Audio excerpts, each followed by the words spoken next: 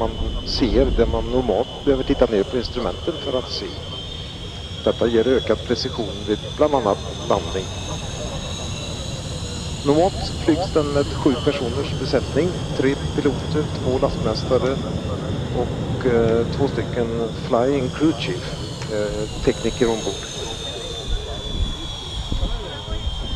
Flygplanet kan utrustas med värmefacklor, precis som vi har sett med Gripenplanen.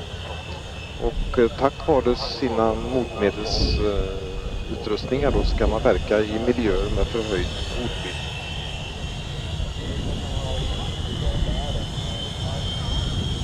För länge sedan så fanns det planer i Sverige att köpa in C-17 men sen eh, valde man att gå in i ett eh, samarbete där ett eh, mindre än 12 länder gick samman Eh, det bildades i Ungern på en flygplats som heter Papa en eh, europeisk flygflottilj som har varit i tjänst sedan 2009. Och den ska verka fram till 2038 vill jag minnas. Eh, och där har då Sverige tillsammans med 11 länder köpt in tre stycken Boeing C17 som vi ser här, ett av på plattan idag. Och det här är då ett, eh, en metod för att eh, underlätta transportförmågan hos mindre nationer som normalt måste hyra in flygplan för längre och tyngre transporter. I det här samarbetet så har Sverige 25 personer som jobbar nere i Ungern. Det är, man är nere på så kallad familjemission. Och eh, medföljande får eh, ersättning för förlorad arbetsinkomst. Eh, det finns en internationell skola för barnen. När de kommer upp på gymnasienivå studerar de på distans. Sverige är störst, näst största nyttjaren i den här Heavy Airlift Wing. Endast USA förfogar över fler flygtimmar. Och respektive land försörjer personalen eller försörjer pers flottiljen med personal i relation till andelen flygtimmar. Och det gör att i Sverige är det runt 25 personer som jobbar där nere. Och några av dem är med här i, idag.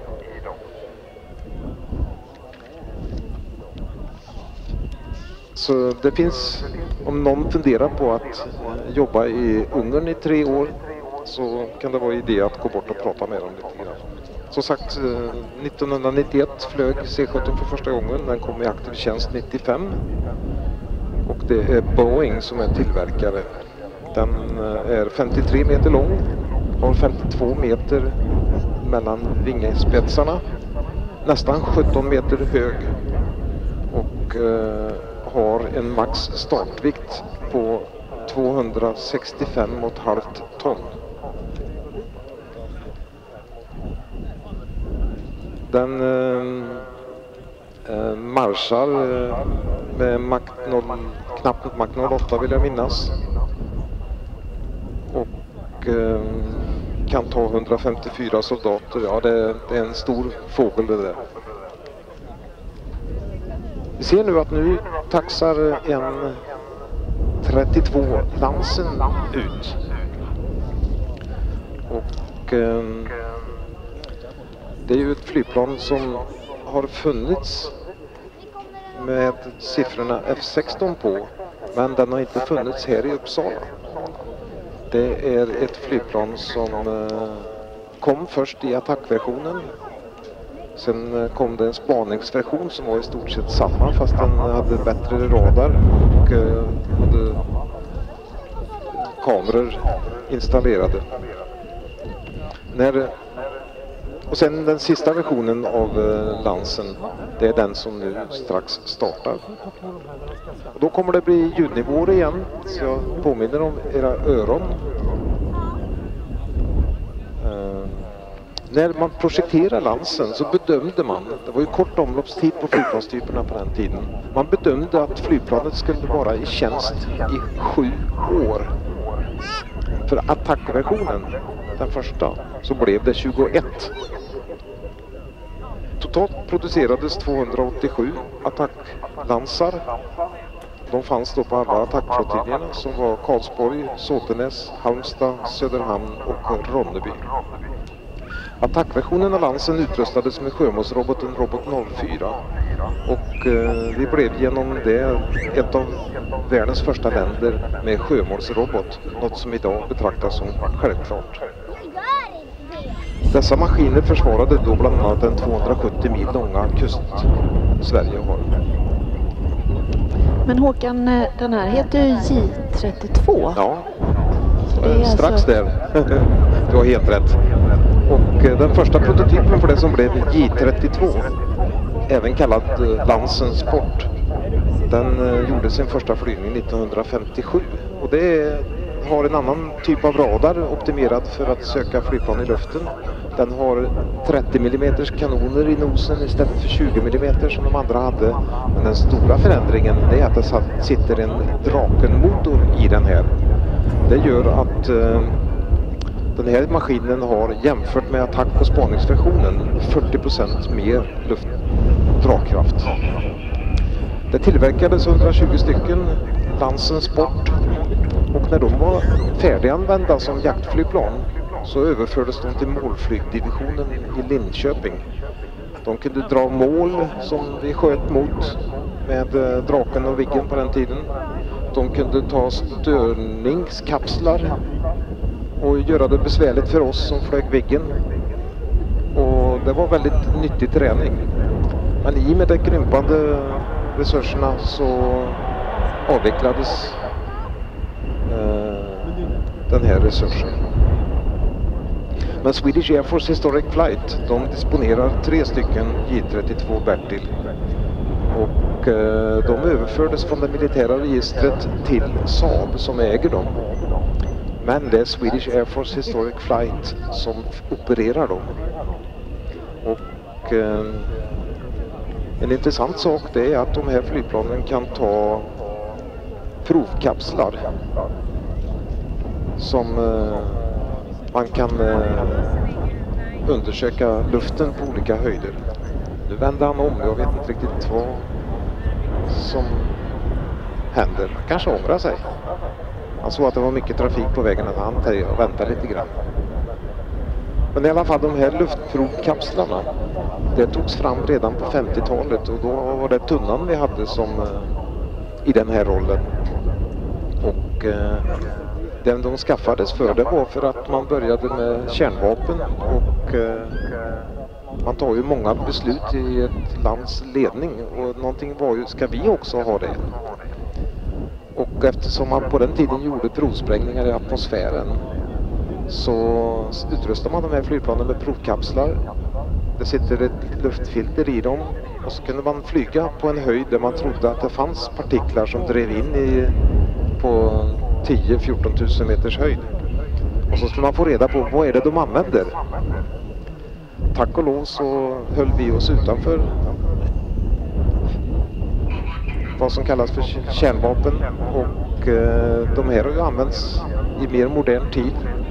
Bland annat efter Tjernobyl gjorde man provflygningar och upptäckte att det fanns spill i luften, radioaktivt spill. Man har också använt den efter eh, de här vulkanutbrotten när man undersökte askutbredningen. Men varsågod, J32 dansen, Swedish Air Force Historic Flights.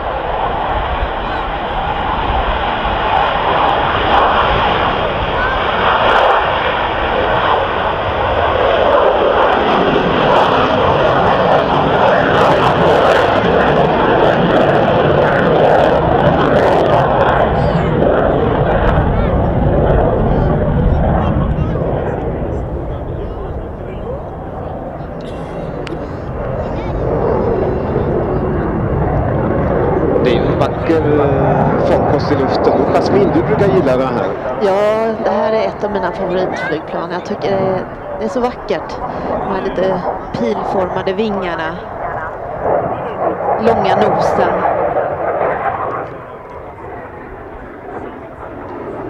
Ja, han som flyger den, han eh, heter Stellan Andersson och började som fältflygare i flygvapnet och flög där från 1969 till 1987.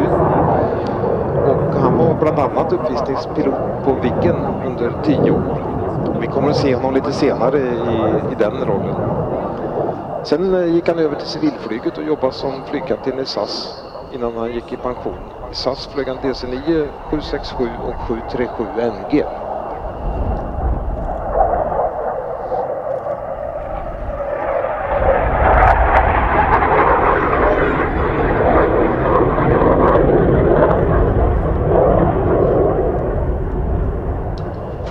När flygplanen fördes över från det militära registret till det civila, då är det ju Transportstyrelsen som är eh, kontrollerande myndighet, tillståndsgivande. Det är civila certifikat som krävs och eh, sen krävdes det modifiering av flygplanen. De har modifierats så man satt in en modern flygradio med 833 kHz kanalseparation, mod S-transponder, GPS och ILS. Det är rätt så omfattande jobb att installera ett sånt här flygplan. Men Stellan har varit eh, ledande. Han är också som Olle som jag nämnde tidigare, både duktig pilot och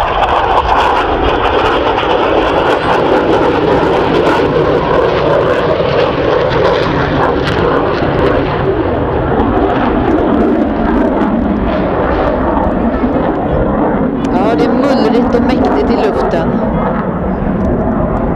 Och snyggt. Ja. När Stellan har tagit eh, examen så placerades han på F15 i Söderhamn, flög Lansen där och sen eh, flyttades han till Såtenäs. Och han kommer från Dalsland så självklart har han väl åt det hållet.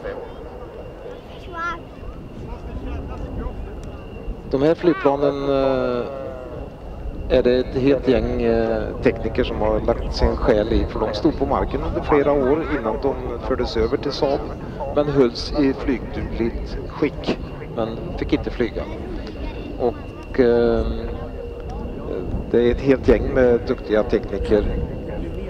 Eh, har inte alla namnen i huvudet men Håkan Andersson som är, har ledartröjan i den rollen utan dem skulle det här vara omöjligt.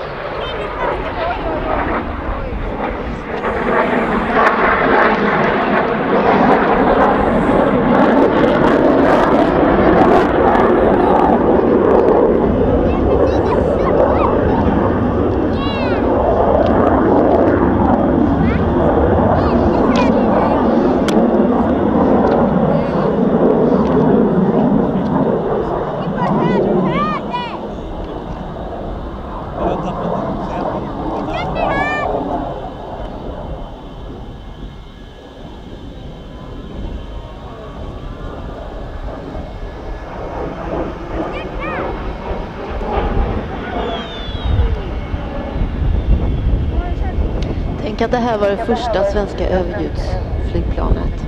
Ja, men nu tänker vi A32 och då fick man faktiskt med tänd efterbrännkammare stå på rätt ner för att ta sig igenom. Ja.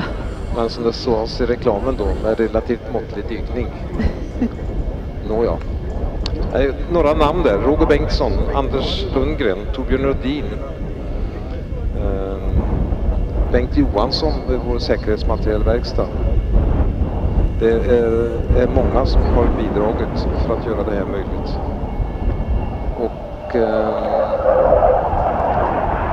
det är ju ett, eh, ett gemensamt intresse där de då får eh, lite hangartak över huvudet på Såtenäs mot att de ställer upp utan kostnad eh, vid flygvapnets flygdag. Vill man eh, ha ett av de här flygplanen vid en flygdag någon annanstans, ja då får man betala. Och det är inte billigt. Jag tror att föreningen ger en bit över en halv miljon per år i försäkringskostnad.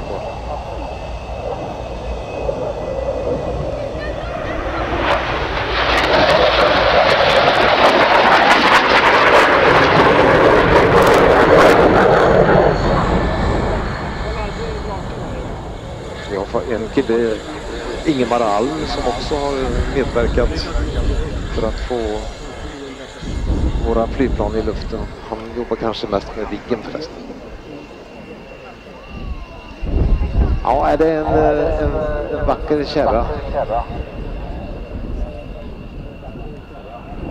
Och den har ju eh, plats för två personer. För på den här tiden så var ju inte någon eh, möjlighet att få datorstöd utan det var ju en navigatör i baksits som såg till att man kom dit man skulle. Och för, på den tiden med en uh, i baksätet var det en uh, orutinerad pilot då kunde man sätta en rutinerad navigatör i baksits och ändå få rätt bra nivå på ekipaget. Andra sidan var det en grön navigatör så kunde man skicka en av de uh, rutinerade, mer rutinerade piloterna att göra den delen. Håkan, du brukar ju, du brukar ju ha någon sån här eh, fråga. Vad är det som är det tystaste som, som finns? finns? Ja.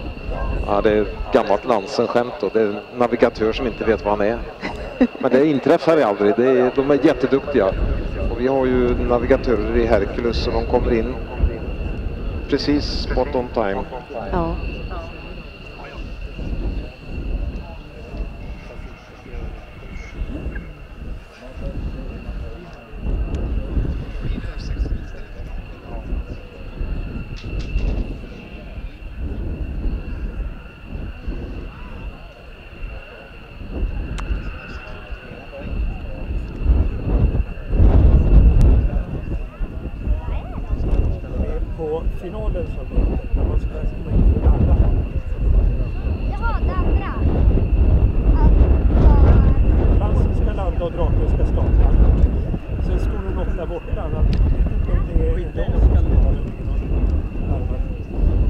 Här ser vi Stellan komma in på kortfinal.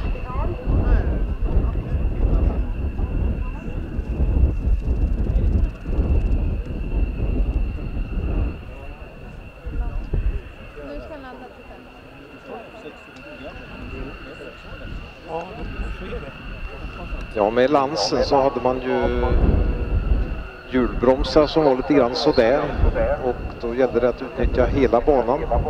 Efter landning så håller han upp nosen och exponerar vingens undersida mot fartvinden. Och det är någonting som vi kallar för aerodynamisk inbromsning. Vi ser här hur han åker så här på bakhjulen. Vi ser också att luftbromsen är ute. Han har klaff i bakkanten. Och under stjärten på kärran så ser vi en liten, liten släpsko. Den kan gnistra rätt eh, effektfullt när den tar i banan.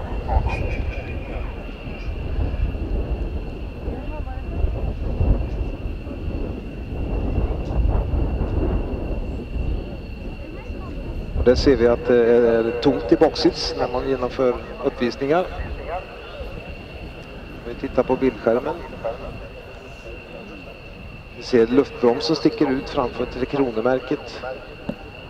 De små antennerna på vingrotens framsida där det är något inflygningshjälpmedel.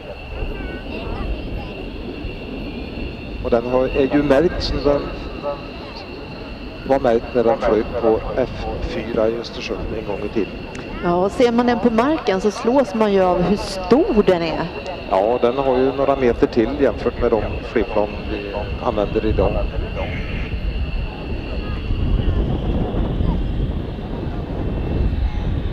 Lansen var det första flygplan där alla maskiner hade radar i nosen.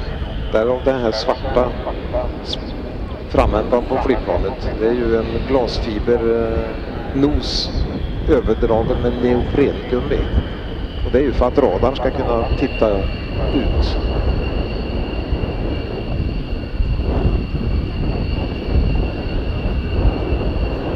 Får vi lite närbild på Stellan där också. Ja.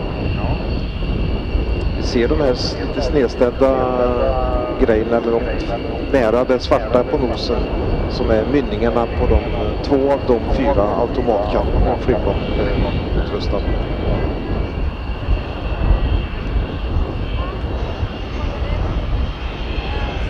Ja, nästa programpunkt är ju det flygplan som efterträdde J32 Lansen.